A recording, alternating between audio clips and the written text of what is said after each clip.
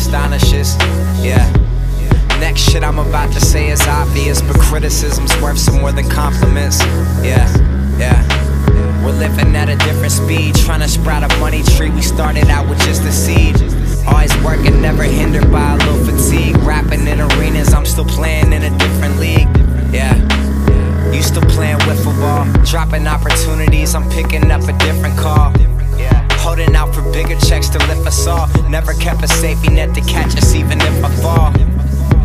Rather risk it all than play it safe. You like to sprinkle salt and player hate. My team can eat, I'll share a plate. I had the black on black, I swear you're late. Every day I got some fly shit on. Keeping all black outfit on. I already bag most of the chicks that you out here trying to get on. You just catch